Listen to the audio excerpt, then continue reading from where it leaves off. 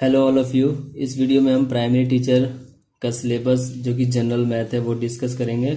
और आपको जैसे पता है कि कंसर्न सब्जेक्ट से एटी क्वेश्चंस आ रहे हैं, ठीक है? क्योंकि सिलेबस चेंज हो चुका है इस बार का प्राइमरी टीचर का। तो मैं आपको दिखा देता हूँ कि जनरल मैथ्स में क्या क्या आएगा। और इस वीडियो में मैं टॉपिक डिस्कस करूँगा, जो कि मैंसुरेशन का टॉपिक होगा, ठीक है? तो मैं पहले आपको सब तो मैं आपको पहले जनरल मैथ्स का कुछ कंटेंट दिखा देता हूँ कि जनरल मैथ्स से क्या क्या आएँगे।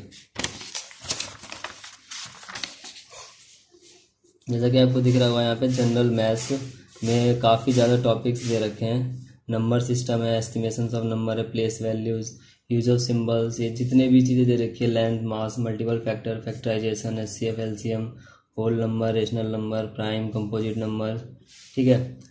ये कंपाउंड इंटरेस्ट से है परसेंटेज है रेशियो एंड प्रोपोर्शन है work and time profit and loss velocity and distance linear equation quadratic equation word related problems है। पोलिनोमियल्स है बेसिक ऑफ़ एल्जेब्रा है।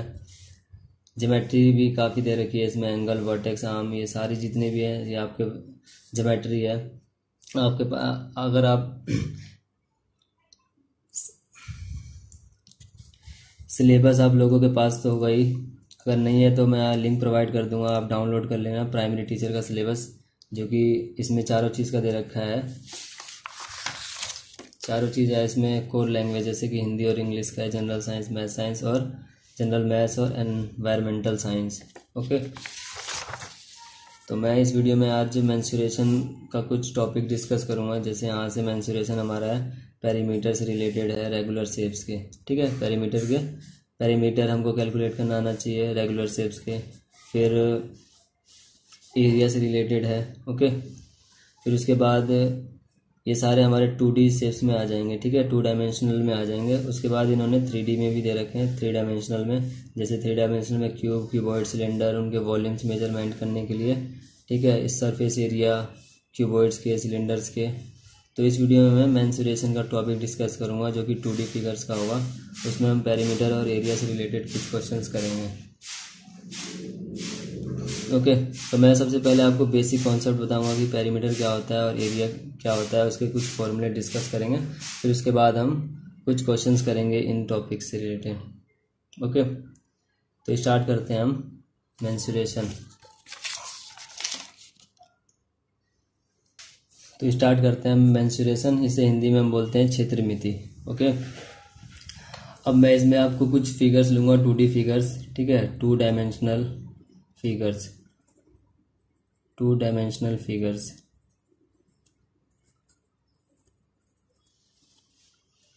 two dimensional figures का हम एक एक करके पेरीमीटर और एरिया डिस्कस करते चलेंगे। आप मेरे साथ साथ कॉपी और पेन में आप नोट करते जाएँ, ठीक है? तो मैं सबसे पहले ले रहा हूँ रेक्टेंगल ओके रेक्टेंगल इसे हिंदी में आयत भी कहते हैं। ओके? तो रेक्टेंगल आपका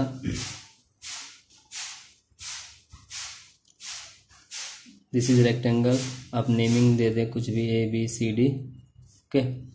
अब रेक्टेंगल की क्या प्रॉपर्टी होती है कि इसके जो एंगल्स होते हैं, वो कुछ इस तरीके से 90 90 डिग्री पर होते हैं, ठीक है? और जो अपोजिट साइड्स है सपोज़ ये है सी डी और ये अपोजिट उसके कौन सी ए बी ये क्या होती है? इक्वल होती है। तो ये रेक्टेंगल का हम क्या लेते हैं? लेंथ और ये बी सी साइड है और ये ए डी साइड है। ये ए बी क्या होगी? इक्वल होगी। मीन्स ये इसके इक्वल और ये इसके equal means opposite side equal and all angles are 90 degree तो ये प्रॉपर्टी है रेक्टेंगल की।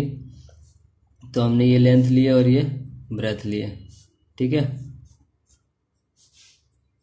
लेंथ यानी लंबाई ब्रेथ यानी चौड़ाई। तो पेरीमीटर क्या होता है? पेरीमीटर आपका simply what do mean by perimeter perimeter simply क्या होता है?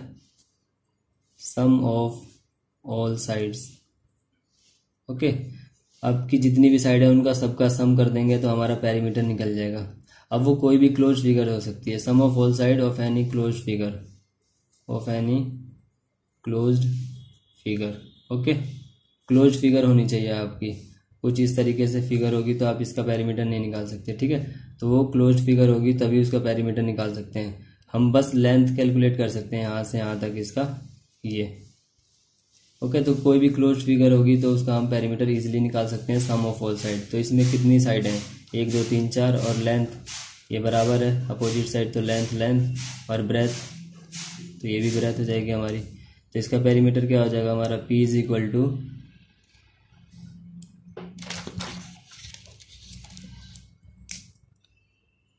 P is equal to L plus L plus breadth plus breadth यानी कि एल प्लस एल और B plus B L plus L क्या हो गया? टू एल हो गया और बी प्लस बी क्या हो गया? टू बी हो गया.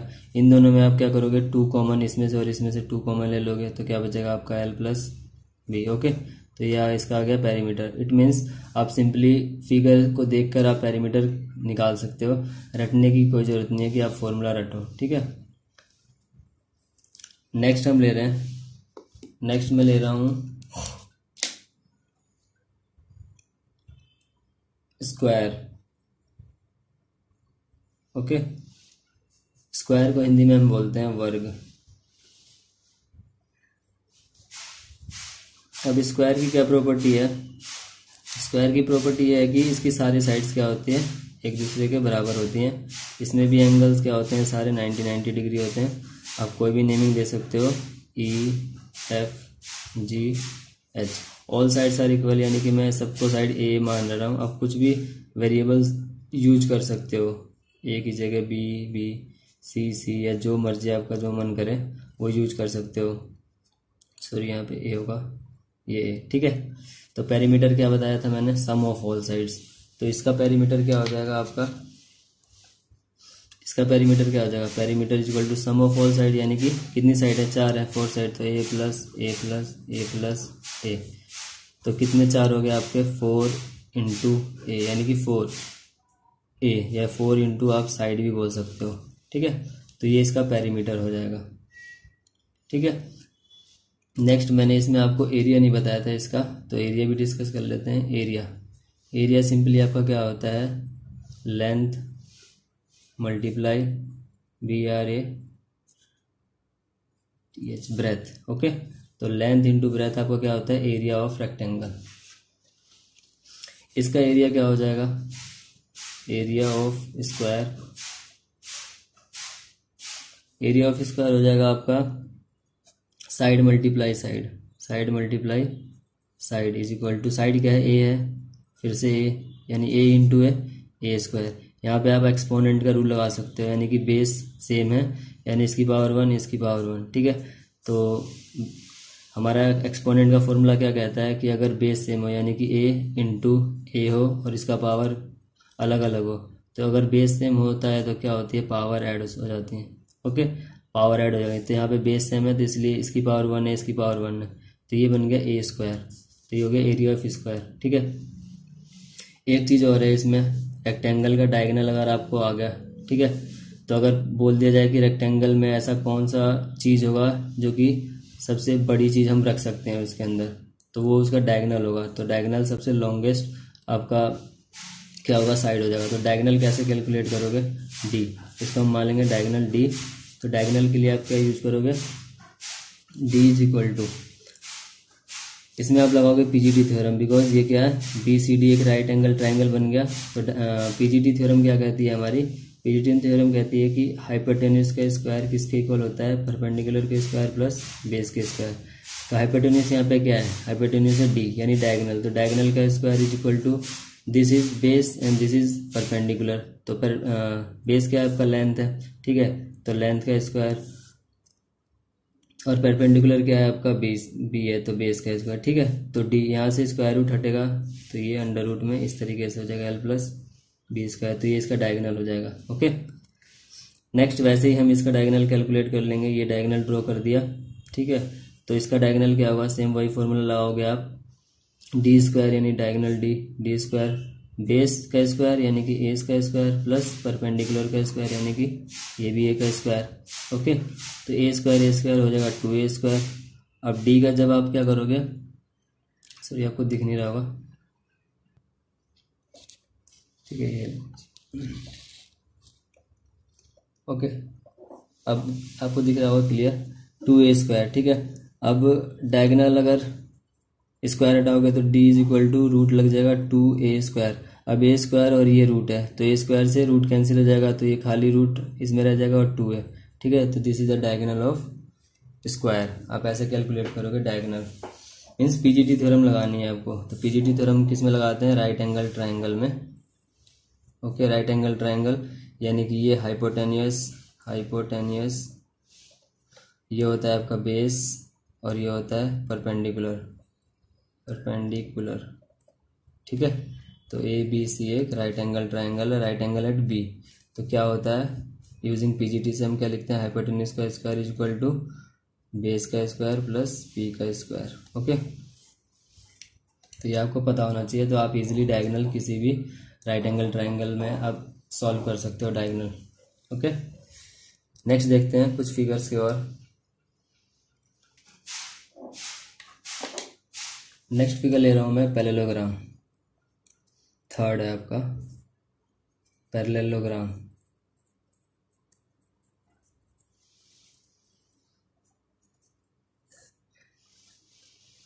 इसको हिंदी में हम कहते हैं समानांतर चतुर्भुज, ठीक है? समान, समानांतर चतुर्भुज, okay? It means parallelogram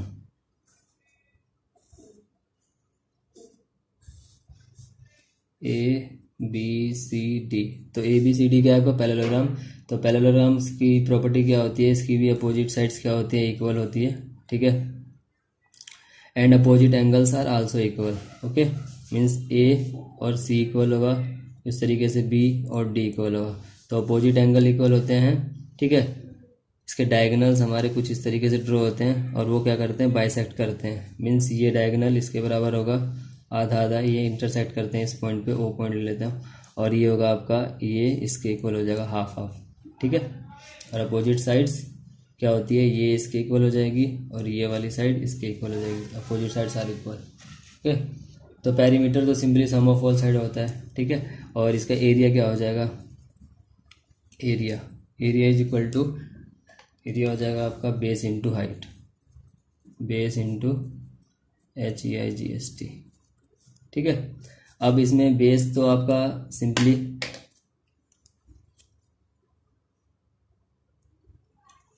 इसमें आपका बेस सिंपली क्या हो जाएगा? मैं दूसरा फिगर बना देता हूँ।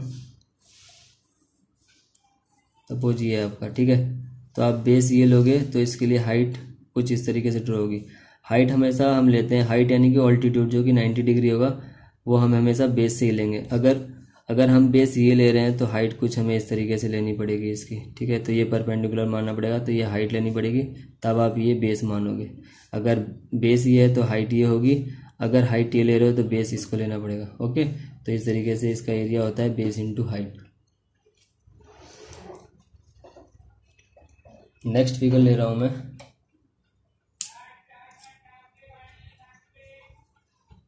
नेक्स्ट फिगर है रोमबस रोमबस को हिंदी में बोलते हैं सम चतुर्भुज, ठीक है? सम चतुर्भुज. तो रोमबस आपको, आप दो तरीके से बना सकते हो. एक तो ये रोमबस बना सकते हो आप. रोमबस की क्या प्रॉपर्टी होती है? इसकी भी सारी साइड्स क्या होती हैं? इक्वल होती है. और इसके जो डायगनल्स होते हैं, वो 90 डिग्री पर क्या करते हैं? बाइसेट करते हैं। 90 90 डिग्री पर बाइसेट करते हैं। ठीक है? ये आपका रोमबस हो गया। और आप एक रोमबस इस तरीके से भी बना सकते हो, ये। Means parallelogram it is a type of a parallelogram ये भी ऑल साइड्स क्या होगी? इक्वल होगी। इस तरीके से इसका डायगनल एक दूसरे को बाइसेट करेंगे। ठीक है? इसमें भी सारी साइडें क्या होगी? बराबर बराबर होंगी। अब diagonal of rhombus area of rhombus R O M B U S area of rhombus क्या होता है? इसका half into diagonal D one into diagonal D two means अगर आप ये डायगनल डी वन ले रहे हो और ये फिर डायगनल हो जाएगा आपका डी टू तो इसका एरिया हो गया हमारा diagonal D one into D two अगर आपको डी वन और डी टू दे रखा हो, ठीक है? If D one and D two are given अगर डायगोनल डी वन और डी टू आपको दे रखा है तो आप इससे एक चीज़ और निकाल सकते हो, इसकी साइड पता कर सकते हो, ठीक है? Then side of rhombus then sides of rhombus area of rhombus हमारा ये हो गया half into D one into D two ठीक है? अगर डायगनल डी वन और डी टू गिवन हो आपको तो देन साइड्स ऑफ़ रोम्बस किस तरीके से आप कैलकुलेट कर सकते हो इजीली आप डायरेक्ट ये फॉर्मूला लगाओगे। कौन सा? हाफ़ रूट में डी वन का स्क्वायर प्लस डी टू का स्क्वायर ओके तो ये हो गया साइड्स निकालने के लिए। और ये हो गया आपका एरिया कैलकुलेट करने के लिए। एरिया ऑफ़ रोम्बस और ये हो गया साइड ऑफ़ रोम्बस नेक्स्ट मैं आपका फिगर लेने जा रहा हूँ। ट्रायंगल्स ठीक है?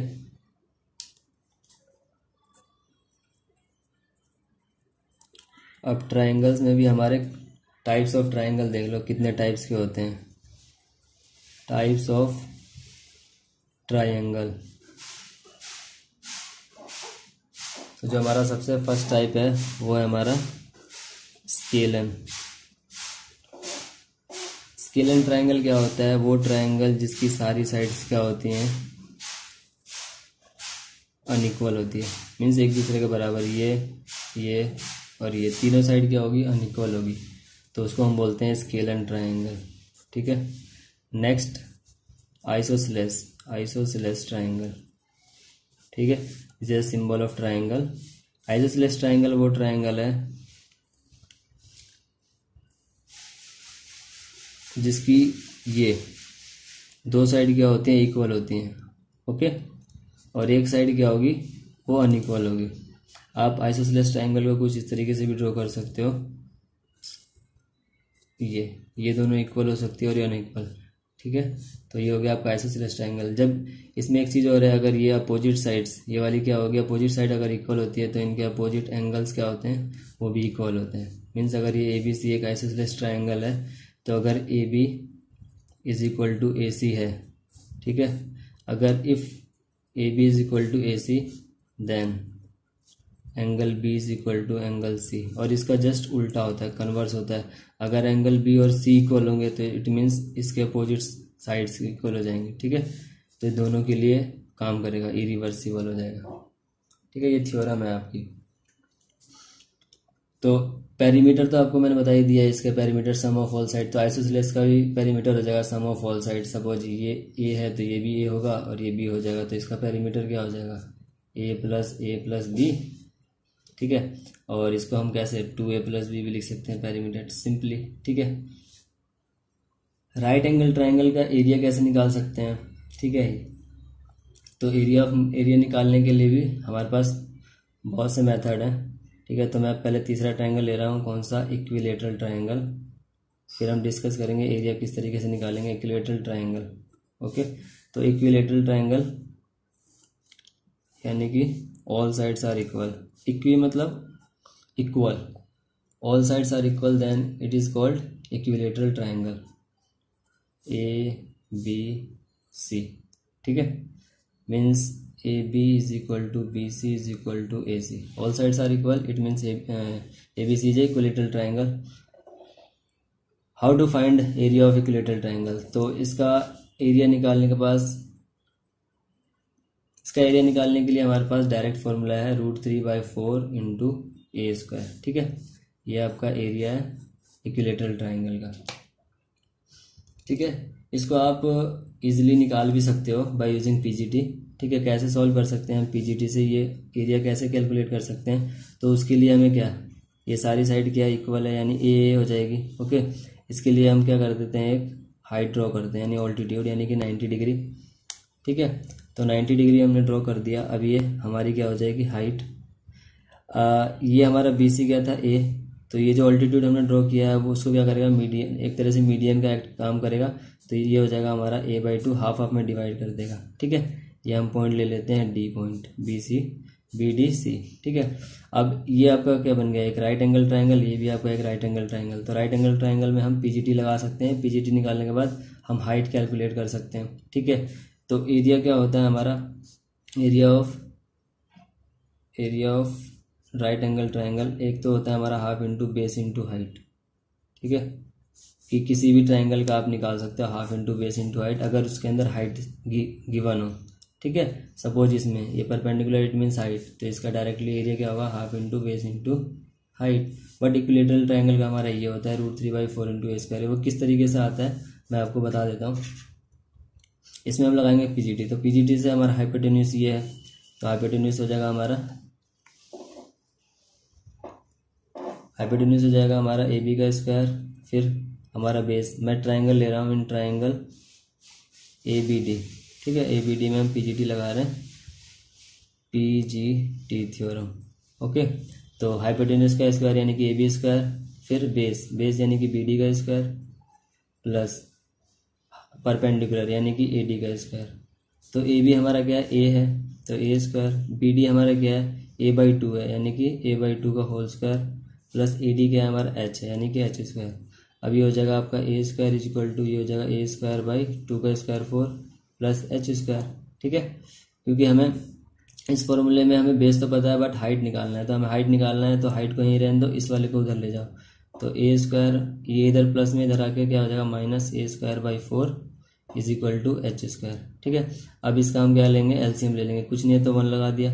एलसीएम लेंगे तो इसका क्या होगा? एलसीएम एलसीएम हो जाएगा आपका फोर ठीक है? तो फोर वन जा four four into A four A square minus four one जा four one into A square यानी कि ए स्क्वायर ठीक है?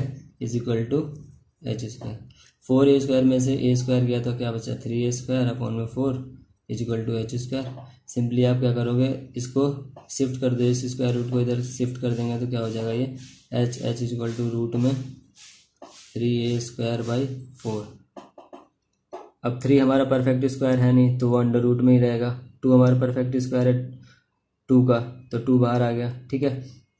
और ए स्क्वायर से रूट कैंसिल हो जाएगा तो ये क्या बच जाएगा? ए ठीक है? तो हाइट हमारा आ गया root three by two A okay अब क्या करेंगे, हम इसमें पुट कर देंगे वैल्यू ठीक है? तो ये क्या हो जाएगा हमारा? हाफ़ इंटू बेस बेस क्या ए बाई टू है? A by two into height हमने निकाल दिया रूट टू इंटू ए अब देखो, ये क्या हो जाएगा?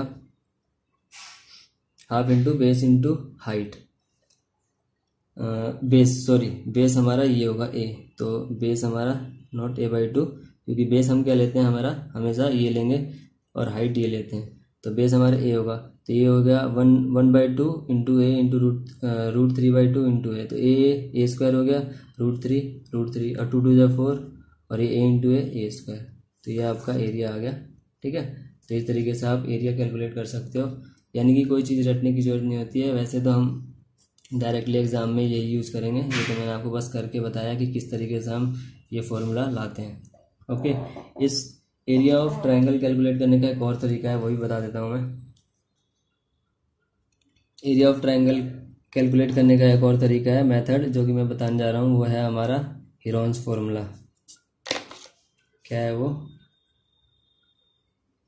हिरोन्स फॉर्मूला ये आपको नाइन्थ क्लास में पढ़ाया जाता है हिरोन्स फॉर्मूला ओके तो इसको कैसे अप्लाई करते हैं? वो किसी भी ट्राइंगल में आपका वैलिड होता है, हर एक ट्राइंगल में, चाहे वो स्केलन हो, चाहे वो आइसोसलेस हो, चाहे वो इक्विलेटरल हो, चाहे राइट एंगल ट्राइंगल हो, ठीक है? चाहे वो स्केलन ट्राइंगल हो स्केलन ट्राइंगल हो, चाहे वो आइसोसलेस ट्राइंगल हो, चाहे वो इक्विलेटरल हो, या फिर चाहे वो राइट एंगल ट्राइंगल हो।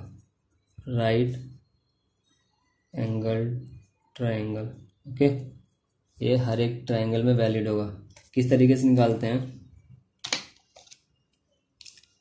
कोई भी आपको एक ट्राइंगल दे रखा है, ठीक है? ए बी सी सपोज़ ये एक स्केलन ट्राइंगल जिसकी ऑल साइड्स क्या है? अनइक्वल है। मीन्स कोई भी साइड बराबर नहीं है, यानी कि ए है, ये बी है और ये सी है।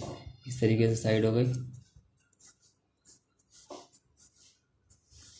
ठीक है? तो सबसे पहले हम इसका सेमी पेरीमीटर कैलकुलेट करते हैं। सेमी पेरीमीटर जैसे पेरीमीटर क्या होता है? सम ऑफ़ ऑल साइड वैसे ही हम इसको भी करेंगे, लेकिन सेमी का मतलब होता है हाफ़ वो पूरा निकाल के हम उसका हाफ़ कर देंगे। तो क्या होगा? A plus B plus C upon two ठीक है? इसके मैं क्वेश्चन कराऊँगा तो आपको और इजीली समझ आ जाएँगे। फिर भी मैं आपको एग्जांपल लेके बता देता हूँ। सपोज़ मैंने कोई साइड ले लिया A is equal to three ले लिया B is equal to four ले लिया और C is equal to five ले लिया। तो इसका पेरीमीटर हम निकालेंगे इजिली क्या होगा three plus four plus five कितना हो गया? सात पाँच बारह। बारह हो गया और डिवाइडेड बाई टू कर देंगे। टू सिक्स ट्वेल्व यानी ये इसका सेमी पेरीमीटर हो गया। पेरीमीटर का हाफ़ सेमी पेरीमीटर हमें बता दिया, ठीक है? सेमी पेरीमीटर निकालने के बाद क्या करेंगे? सीधा area is equal to root under root S जो सेमी पैरामीटर आपने निकाला, वो यहाँ वैल्यू आएगी फिर एस माइनस ए ठीक है? एस माइनस बी और ये हो जाएगा एस माइनस सी ओके तो ये इसका एरिया निकालेंगे और ये हर एक ट्राइंगल में वैलिड है ओके नेक्स्ट फिगर मैं ले रहा हूँ ट्रेपीजियम तो ट्रेपीजियम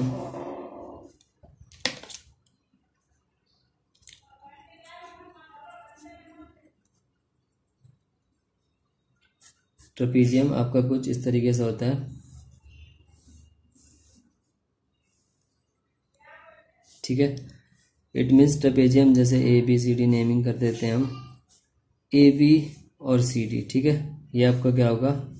पैरलर्स होंगे। मीन्स दो साइड आपकी क्या होती है? पैरलर्स होती हैं और टू साइड्स यानी कि ए डी और B C non parallel side होती हैं। ठीक है?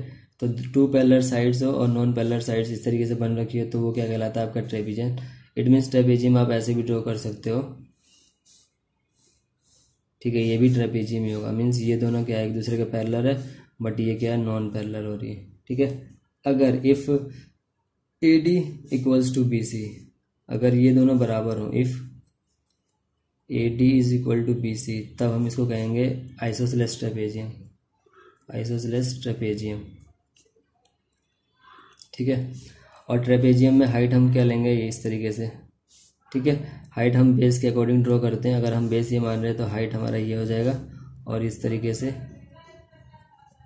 ये हमारी हाइट हो जाएगी। तो height height this is parallel sides इसको मैं ले लेता हूँ यहाँ से यहाँ तक ए और इसको यहाँ से यहाँ तक बी तो इसका एरिया हम कैसे कैलकुलेट करेंगे? Area of trapezium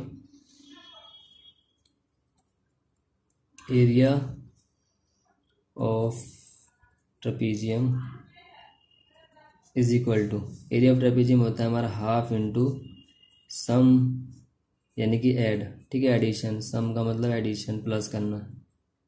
Sum of parallel sides parallel sides parallel का हम ये भी सिंबल लगाते हैं, ठीक है, यानी कि दो एक दूसरे के parallel parallel sides into height तो हाफ़ इंटू पैरेलर साइड कौन कौन सी है आपकी ए है? ए बी है और सी डी है।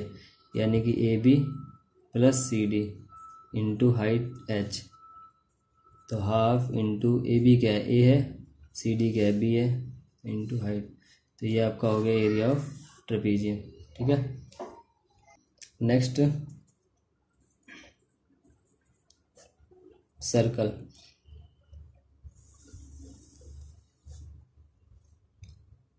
सर्कल में आपका क्या क्या होता है?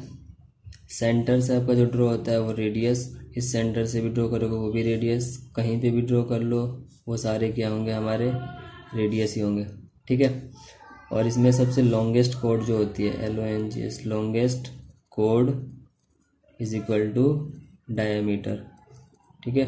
अब डायमीटर क्या होती है? जब हम दोनों रेडियस को ऐड कर देते हैं, यानी इस रेडियस को और इस रेडियस को प्लस कर देते हैं तो ये हमारी डायमीटर यानी कि two R D diameter is equal to two R okay इसके लिए इसके लिए हम यूज़ करते हैं मीन्स अगर मुझे इस पॉइंट से यहाँ से यहाँ तक इसका अगर पूरा लेंथ निकालना हो, ठीक है ना? मीन्स डिस्टेंस निकालना हो, यहाँ से यहाँ तक लेंथ कि कितना है इसका? तो हम इसलिए इस यूज़ करते हैं सरकमफेरेंस ठीक है? सरकमफेरेंस ऑफ़ सर्कल इसको हम लिखते हैं pi D okay pi D D की जगह आप क्या पुट कर सकते हो? पाई इंटू टू आर, और आप इसको टू पाई आर भी लिखते हो। पाई की वैल्यू आपकी ट्वेंटी टू बाई सेवन या फिर थ्री पॉइंट वन फोर। अगर क्वेश्चन में बोला हो कि three point one four use करना है तो आप three point one four use करोगे। अगर नहीं बोला है तो आप simply twenty two by seven he use करोगे। ठीक है? तो ये हो गया हमारा सरकमफ्रेंस ऑफ़ सर्कल यानी कि बाहरी हिस्सा का पूरा ये हमने लेंथ निकाल लिया सरकमफ्रेंस निकाल लिया। नेक्स्ट अब इसका एरिया कैसे निकालते हैं? सिंपली है। Area is equal to pi R square ठीक है? एरिया हो गया हमारा pi R square next next अगर आपको बोल दिया जाए कि आप निकालो सेमी पेरीमीटर ठीक है? सेमी पेरीमीटर यानी कि सरकमफ्रेंस बोला तो किस तरीके से निकालोगे? ठीक है? या पेरीमीटर बोल दिया। तो पेरीमीटर किस तरीके से निकालोगे? यानी सम ऑफ़ ऑल साइड्स तो मिस्टेक क्या होती है कि हम सिर्फ़, हम क्या करते हैं? टू पाई आर है ना तो two pi R divide by two कर देते हैं और सिंपली बोल देते हैं कि इसका जो पैरीमीटर होगा वो सिर्फ़ पाई आर होगा। नहीं तो ये क्या हो जाता है गलत। ओके? हमें क्या करना होता है पैरीमीटर में? Sum of the all side मतलब ये तो प्लस करना ही करना होता है, साथ में ये जो आपका डायमीटर है वो भी प्लस करना होता है। तो हाफ़ तो हो ही गया आपका पाई आर। ओके? तो पाई आर का मतलब यहाँ से यहाँ तक का ये वाला डिस्टेंस होगा। प्लस डी यानी कि डायमीटर, ये। ठीक है? तो आप इस तरीके से लिख सकते हो, पाई आर प्लस डायमीटर होता है two R R R common भी ले सकते हो, ठीक है, या फिर आप ऐसे ही रहने दो, ठीक है। आर कॉमन लगेगा तो पाई प्लस टू का कोई बेनिफिट नहीं है, आप इस तरीके से इजीली कर सकते हो। तो वीडियो अच्छी लगी तो लाइक करें शेयर करें, और सब्सक्राइब ज़रूर कर लें, ताकि अगर मैं ऐसी वीडियो डालूँ तो आपको नोटिफिकेशन मिल जाए तुरंत, ठीक है। जैसा कि हम मैंने कहा था कि मैं पैरीमीटर और एरिया टू डी फिगर्स में मैंने बता दिया है कुछ, ठीक है? रेगुलर शेप्स तो आप पैरीमीटर का मतलब समझ गए होगे। यानी सम ऑफ़ ऑल साइड किसी भी एक रेगुलर फिगर का, किसी भी रेगुलर फिगर का पैरीमीटर निकाल सकते हो। पैरीमीटर बता दिया है और एरिया बता दिया है मैंने आपको, ठीक है? नेक्स्ट में हम सरफेस एरिया और वॉल्यूम से रिलेटेड करेंगे, जो कि थ्री डायमेंशनल में आएगी, ठीक है? और कुछ क्वेश्चंस भी सॉल्व करेंगे, ताकि आपको ये वाला पूरा जो मैंसुरेशन है वो कंप्लीट हो जाए। मैंसुरेशन आपका कंप्लीट हो जाएगा, तीन से चार वीडियो में, चार तीन से चार नहीं तो चार पाँच वीडियो में कंप्लीट हो जाएगा आपका, ठीक है? तब तक के लिए थैंक यू